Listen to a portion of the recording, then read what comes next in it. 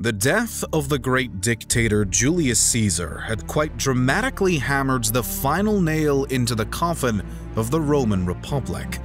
Its fate had been sealed, but there was still much to be done before it would officially be laid to rest.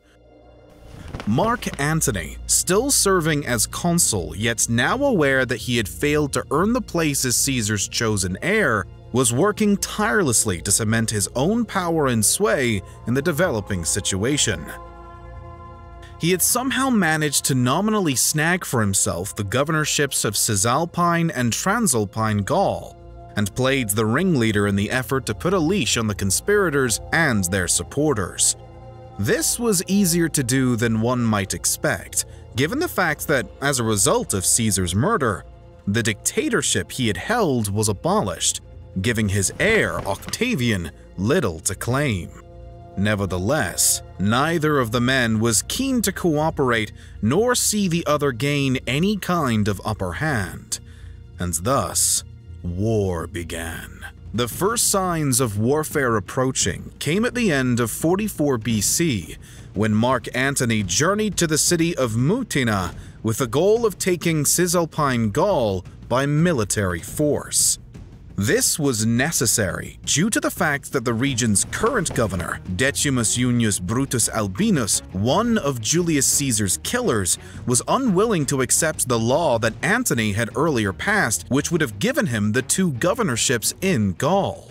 His law was seen as wildly illegal, and thus Brutus was determined to fight it. Antony subsequently laid siege to Mutina, quite possibly severing the final positive ties he'd had left with the Roman Senate. They now responded to the treacherous siege by sending the New Year's consuls Aulus Hirtius and Gaius Vibius Pansa alongside Octavian himself to defend the governor. The Senate's plan worked. As Antony and his men were forced to defend themselves against the approaching armies, the siege of Mutina softened. Both consuls would end up dead, but the siege would be lifted after Hirtius and Octavian attacked Antony's camp, scaring him into believing another assault would come soon. That, however, was the full extent of the Senate's victory.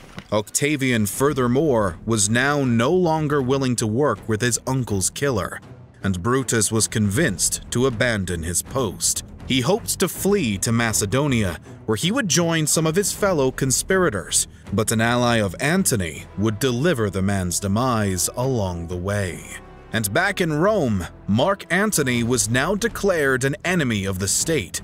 Meanwhile, two consulship positions were suddenly vacant. The latter fact was one that Octavian took great pleasure in, as he had eyes on the role for himself. Marching to Rome, the heir to Julius Caesar took what he wanted, and alongside his cousin, Quintus Pedius, he took his place as consul. Among the first changes that Octavian and Pedius now made was the curious decision to revoke the declaration making Mark Antony an enemy of Rome. With Octavian himself and Antony being two of the most prominent supporters of Caesar remaining, the former decided that it would serve him well to form an alliance with the latter. Another massive supporter of Julius Caesar and a man of significant influence, Marcus Aemilius Lepidus had already negotiated with Mark Antony, either by his own accord or because Lepidus's troops had insisted upon it. Likewise, all of those forces who supported Caesar were now pressuring Octavian to do the same, and thus, after meeting with the other men, Caesar's heir, Mark Antony, and Marcus Aemilius Lepidus entered into what is now known as the Second Triumvirate. This new friendship of sorts was solidified with the passage of the Lex Titia, modeled after Sulla's Lex Valeria, and granted the triumvirs political and legal powers that outshined that of the consuls. The trio would also walk back on earlier agreements to let those who conspired against Julius Caesar off the hook, and in a violent turnaround had hundreds executed. Further, the lands of the Republic were divvied out between the men, with Octavian taking Africa, Sicily, and Sardinia, Antony winning Cisalpine and Gaul as he had hoped for prior, and Lepidus being gifted Spain and Narbonensis.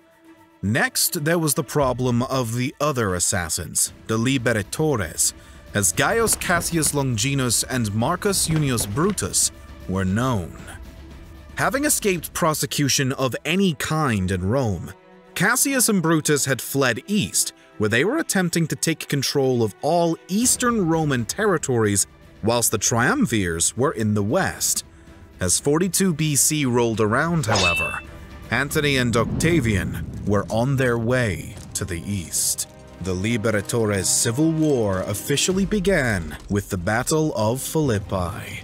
As the fall leaves began to turn, Mark Antony came face to face with Cassius Longinus, while Brutus and Octavian squared off. The fight between Caesar's heir and friend turned killer seems like a fair match, and there failed to be one side with a clear advantage quite contrary to the clash between the forces of Antony and Cassius. The Caesarian beats down his opponent, but Cassius managed to initially escape the battle alive. Despite the truth being far different, Cassius had then heard that his ally had been routed and in dramatic fashion. He reacted to the false news by taking his own life. Now alone in the fight, Brutus managed to take the reins of Cassius's abandoned forces, and both he and his foes withdrew from the battlefield. The Triumvirs and Liberatores now began attempting to reignite their armies with promises of more money, as Octavian, Antony, and Brutus looked for what their next steps would be. Brutus was hoping to avoid a pitched battle just yet, and with the Liberatores fleet having defeated the Triumvirs on the Ionian Sea, Brutus may have been in a fair position if he was able to do just that. The risk of masses of Caesar's veterans now in the Liberatore forces defecting to Octavian and Antony's side was one worth constantly considering and when some of Brutus's other forces began to do just that, there wasn't much left that could be done. The Liberatore had to either fight and fight now, or run with his tail between his legs in a humiliating defeat. Brutus chose the first option, though the second may have been better in the end, as the result of an October 23rd battle was the trouncing of his forces and the suicide of the remaining Liberatore. Many surviving members of Brutus and Cassius's forces subsequently joined the Caesarian fight, as did a handful of nobles who had thus far opposed Octavian and Antony. When the body of Brutus was discovered amongst the carnage in the aftermath, it is said that Mark Antony paid his respects to his deceased foe and former friend by laying a purple cloth over his corpse. A symbolic moment, putting a face to the true ramifications of the ongoing civil war of the Roman Republic and its remains. Friend against friend, brother against brother, rival factions and political games had torn Rome apart. And as was the way of the Romans, alliances were short lived and friends were quick to become enemies. The Second Triumvirate was no different. Following the war against the Liberatores, the members of the three-way alliance split up geographically, particularly Antony and Octavian, the latter of which had to now move on to facing Sextus Pompey in Sicily, whilst Antony focused on the east and Parthia. Cleopatra would also enter the picture again, this time striking up an affair with Antony, much as she had with Caesar before him. This allowed Antony and Cleopatra an advantage. Both could use each other to strengthen their own positions. But, after all, this was an adulterous relationship. Antony had a wife back in Rome, and that wife of his was not one to be ignored. As the Parthians readied for a preemptive attack against some of Rome's eastern holdings, Antony's wife, Fulvia, alongside Lucius Antonius, consul and brother to Mark Antony, were mapping out their own plans for war. Amongst domestic unrest triggered by Octavian's treatment of his veterans and ongoing war with Sextus Pompey, Fulvia and Antonius decided to target the triumvir personally with a slew of propaganda and only fans the flames of the ongoing discontent. The situation soon escalated to the point of Antonius's military occupation of Rome and subsequent warfare against the forces of Octavian. The debacle was short-lived, lasting only from 41 through 40 BC and ending in a victory for Octavian, who eventually seized Perugia as a result. Both Antonius and Fulvia were allowed to live, and at the request of Octavian's soldiers, so were those belonging to Antony's family. And while Antony himself had stayed absent during the clashes, feigning distraction throughout it all, he was now watching his fellow triumvir with mild suspicion. Octavian had taken more than Perusia. He had furthermore seized Gaul after the death of Antony's governor, and held additional territory elsewhere within Rome's grasp. With distrust being one of the pillars holding up the might of the Second Triumvirate, it's no surprise that Antony thus dropped everything to return to Italy with an army of his own, just in case. As another just in case, Antony furthermore attempted to enter discussion with Octavian's current nemesis, Sextus Pompey. This plan worked well enough, but it led Antony into direct conflict with Octavian's garrison at Brundisium. Had it not been for the pleas of both armies to make peace, the scuffle could have turned into yet another civil war. But alas, the soldiers managed again to trigger negotiations. Or maybe it was just that these Romans understood well the concept of fairness to their men. By the fall of 40 BC, an agreement had again been made between the triumvirs. Antony and Octavian's new positions in the east and Gaul respectively were made official, and Lepidus, the rather forgotten of the three allies, was confirmed in his new position over Africa. After brief celebrations at home, the renewed friends then looked back at Sextus Pompey with two options in mind sign a treaty, or win a war. As the scorching summer heat set in, so did negotiations. After discussing terms, such as solidifying Sextus's position over the Peloponnese, Corsica, Sardinia, and Sicily for five years followed by a consulship, as well as compromises on behalf of Sextus's soldiers and slaves, an agreement was finally made. War could be avoided, for once, for now. Who was the strongest link in the triumvirate may be debated, but it seems in the deal struck between them and Sextus Pompey, Antony was the glue that held them all together. With the latter having shortly returned east and focused back on his victories against Parthia via his lieutenant Publius Ventidius, the relationship between Sextus and Octavian was now under a scorching spotlight. It was only a matter of months before tensions reached a flaming high with no Antony around to stomp them out.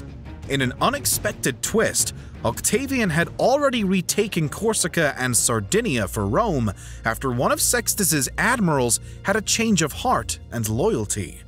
Sextus had favored Antony over Octavian anyway, and this gave him the perfect excuse to throw their alliance aside on Caesar's heir. The sea battle showed an early advantage for Sextus, causing worry for Antony once more, as he now saw a risk of Sextus gaining too much power in comparison to both himself and Octavian. Thus, when his fellow triumvir asked for aid, Antony, though not necessarily in favor of Octavian, sailed back for Italy to discuss matters further. Allegedly, the only thing that pushed him to support Octavian over Sextus was the persuasion of Antony's newest wife and sister of Octavian, Octavia. Despite Antony's resistance, the triumvirate was again renewed, now more officially, and it was agreed that the deal made earlier with Sextus was no longer on the table. It was time for war, and Antony would support Octavian militarily. Antony additionally refocused his goals in the east against Parthia and his continuing affair with Cleopatra, who he now acknowledged he had impregnated as he granted her new lands. Those back in Rome, and really all of Italy, were displeased by this quite public entanglement, growing a crack in Antony's reputation that would soon be deepened by his coming failure against the Parthians. Having marched on the Parthian capital, Frata, and then being chased all the way back to Cappadocia after being abandoned by his alleged ally in the king of Armenia, Artavasdes, Antony had turned the crack in his prestige into an expanding rupture. Meanwhile, Octavian and Lepidus, with the crucial aid of Octavian's lieutenant Marcus Vipsanius Agrippa, found their own triumphs against Sextus, who by the end of 36 BC was on the run, ironically, toward Mark Antony. Sextus's potential for a new treaty with Antony was not the biggest news of the moment. In fact, it was the neglected Lepidus who made metaphorical headlines with a sudden betrayal. After the defeat of Sextus, Lepidus, who'd long awaited his own glory, attempted to win over Octavian's men for himself. This plan disastrously backfired, and the unshakable Octavian reacted by, simply put, kicking Lepidus out of the Second Triumvirate. To say that the alliance still existed with only Antony and Octavian would be a foul joke. It appeared by now that Lepidus had, in the case of the Triumvirate, been the glue, and now that glue was gone. As a result, there remained nothing standing in the way of another civil war, and Octavian now readied for just that. A propaganda war was the first form of battle to come, and displaying a quite impressive level of naivety, Antony made things ridiculously easy for Octavian. After having the fleeing Sextus executed, Antony went on to bamboozle his alleged ally in Armenia, seizing his kingdom and showing off this entire trickery in an ill thought out display of celebration. He then engaged in a yet more poorly evaluated ceremony with his children by Cleopatra, by now shattering the once positive reputation he'd earned entirely. Many in Rome had blamed corrupt morals for the repeated domestic conflicts and wars, and to see someone such as Mark Antony himself parading around in such scandalous and theatrical ways only gave the citizenry more reason to point the finger at him, not Octavian or anyone else. Yet, whether aware of his own self-destructive behavior or not, Antony decided to throw his own accusations back at Octavian, branding him scarcely short of a traitor. If there was truth in these imputations, it would seem not to matter much to all outside of Antony's circle. Octavian was winning the war of words. Mark Antony needed to prepare for one with swords. After forming a counter-senate of his own, Antony began readying his army. The sheer manpower of his force was quite incredible, 800 ships and 100,000 men were ready to fight for the Roman general. The only question was, should they also fight for Cleopatra? This question was answered in dramatic fashion when Antony opted to divorce his Roman wife, yet another reckless move for the stunningly ignorant triumvir. Had he hoped to avoid further damage to his honor, he could have simply removed his Egyptian mistress from the equation, but he instead opted not only to keep Cleopatra around, but to divorce Octavia, a decision he had to know would have significant consequences in the eyes of the public, and of course, Octavian. Unsurprisingly thus, Antony began losing men.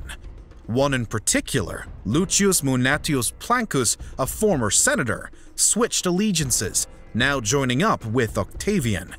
This man would be the first domino to fall in the race toward another war. It was at his urging that Octavian unseals the will of Mark Antony, which, according to him, showed his true loyalties to Egypt, leaving Roman lands to he and Cleopatra's children, recognizing Caesarion, Cleopatra's son, with Caesar, among other damning requests. Octavian followed up this reveal by declaring war on Cleopatra. By September of 31 BC, the Allies turned foes alongside the Queen of Egypt herself clashed at the Battle of Actium. The battle on the Ionian Sea saw a fairly even force on either side. Leading up to the final clash, those on the side of Octavian had been repeatedly harassing the Greek coast as they waited to coax Antony and Cleopatra into true battle. The latter duo, however, had made a new plan to redistribute their forces, setting up garrisons and moving their fleets, something that Octavian quickly caught word of. After pensive debate with Agrippa, Caesar's heir decided that they mustn't let their enemies do as they intended, and that the battle must begin immediately. With Antony's men still deserting on a daily basis, any new ideas or strategies were also taken out of Antony's camp and brought right into the hands of Octavian.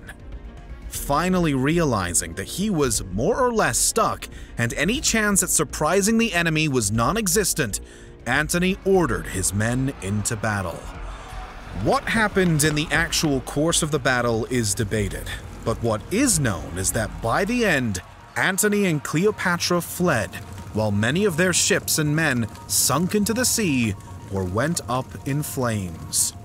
The couple had squeezed through a treacherous gap to slip away, it seems, with no care for the men who'd been willing to risk it all to fight on their behalf. The following year, more desertions plagued Antony's troops. Cleopatra and Octavian had failed to come to any agreement during fruitless negotiations. Octavian was marching toward Alexandria. On the 1st of August, the city fell to the heir of Julius Caesar. Caesar's son by Cleopatra was murdered, as was Mark Antony's heir. Cleopatra's surviving children were captured, and the Roman triumvir with his Egyptian queen ended their lives together. Antony and Octavian had always been no more than pawns in one another's violent game of chess, but the Battle of Actium had been checkmate, and now the king and queen were dead. Gaius Julius Caesar Octavianus had won.